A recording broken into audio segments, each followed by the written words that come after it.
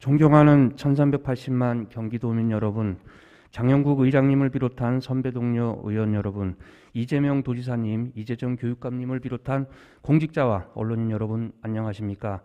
용인 출신 교육행정위원회 소속 남종섭 의원입니다. 오늘 본 의원은 시민은 뒷전이요 관리는 나몰라라 하면서 수익 사업에만 혈안이 된 한 공공기관의 도덕적 해이를 고발하고자 이 자리에 섰습니다. 바로 경기 남부권 시민들이 쉼터인 기흥호수를 관할하는 한국농어촌 공사의 이야기입니다. 기흥호수는 산업의 중심이 농업이던 시절 1964년 농업용수 공급을 목적으로 만들어진 경기도에서 세 번째로 큰 저수지입니다.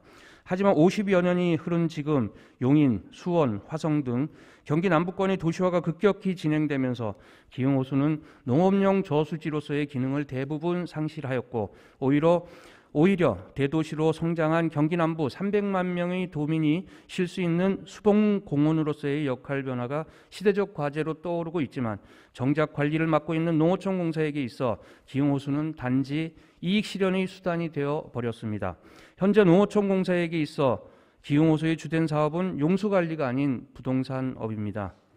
농어촌 공사는 2000년 이후에만 기흥호수 주변 토지 208빌지 약 10헥타르를 20여 차례에 걸쳐서 매각하면서 454억 원의 수익을 챙겨왔고 인근 골프장에 물을 공급하여 이익을 취하고 있으며 전국에서 3개밖에 없다는 수상 골프 연습장을 임대 사업을 통해 해마다 수익을 챙기고 있습니다. 기흥호수의 물은 농업 용수가 아닌 단지 골프공을 씻는 용도로 전략한 것입니다. 보다 못해 용인의 국회의원, 도의원이 나서 어렵게 환경부 국비를 확보하였고 경기도비와 용인시비를 투입해 기흥호수의 수질 관리를 위해 백방의 노력을 다하고 있지만 정작 소유주인 농어촌공사는 저수지 관리에는 손을 놓은 채 제밤에만 관심을 보이는 이율배반적인 상황이 계속되고 있는 실정입니다. 자신들이 임대 사업이 수질 관리에 악영향을 미치고 주민의 여가 생활에 극심한 피해를 끼치고 있지만 농어촌 공사의 아나무인격 마구잡이식 임대 앞에 지역 주민과의 상생은 찾아보기 어려운 상황입니다.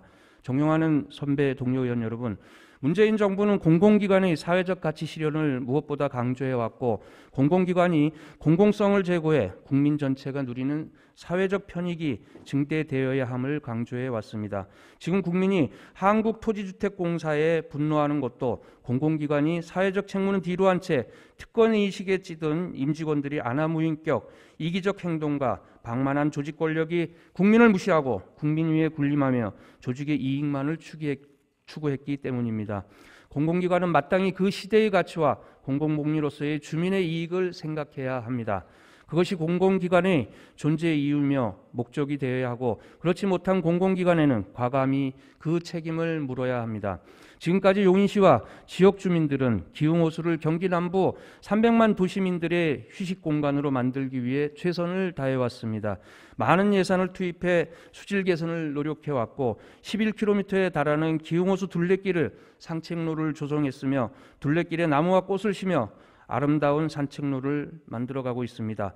여기에는 도민의 혈세인 경기도비와 용인시비가 가장 많이 투입되고 있습니다. 하지만 지역사회의 이 같은 노력에 농어촌 공사의 답변은 둘레길 조성과 나무 식재에 자신들이 토지를 이용하였으니 사용료를 내라고 합니다. 11km의 둘레길을 조성하면서 유일하게 호수와 단절된 원인을 제공한 수상 골프 연습장의 계약 기간이 7월 말로 다가왔지만 지역 주민들이 연장 방대 목소리에도 계약 종료에 대한 어떠한 언급도 피하고 있습니다. 지역 주민의 휴식 공간 보장보다 개인이 운영하는 사업장의 영업권을 보장하는 것이 과연 농어촌 공사가 표방하는 사회적 가치의 실현인 것을 묻지 않을 수 없습니다. 존경하는 선배 동료 의원 여러분, 기흥호수는 이제 경기 남부 300만 도민들에게 돌려 드려야 합니다. 수변 공연으로서 도시민의 사랑을 받는 명소로 만들어 나가야 할 의미가 우리에게 있습니다.